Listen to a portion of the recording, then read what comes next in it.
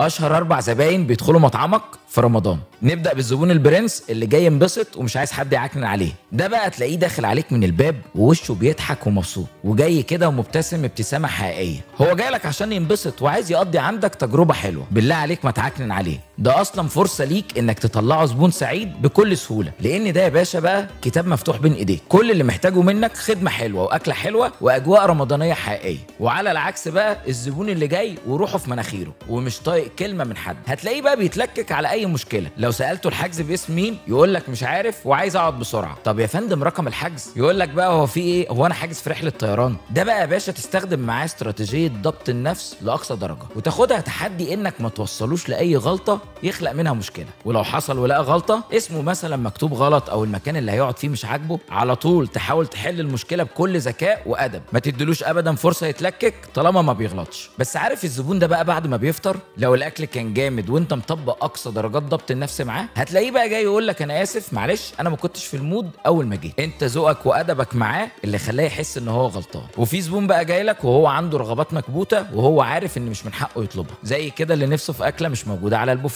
طفلة مثلا بتعيط نفسها في عروسة صغيرة أنت معلقها ديكور. برضو دي فرصة كبيرة ليك إنك تعمل زبون سعيد وولاءه كبير لمطعمك ويطلع يتكلم عنك. هنا بقى نيجي للزبون ال leader القائد يعني. داخل عليك وقت الفطار ومعاه مجموعة من صحابه أو قرايبه. وهو بقى اللي بيدير القعدة. ده بقى تركز معاه جامد وتعيشه دور الملك قدامه. مفيش حتى مشكلة إنك تحسسه إن المطعم ده بتاعه. في بقى الزبون اللي جاي لك علشان نفسه وهو أصلا مقلق منك. وخايف لحتى النفس عندك يطلع بفلوس. ده هو أصلا يا عيني محوش لك قرشين قبل ما يجي. ده بقى انت لازم تفكه أول ما يدخل من الباب. ترحب بيه وتوجهه وتتكلم معاه وتساعده. هتلاقيه بقى فك واحدة واحدة وأخد عليه. قولوا لي بقى في ال comments أنتوا مين في الزباين دول؟ أنا يونس ودي عيادة المطاعم في رمضان.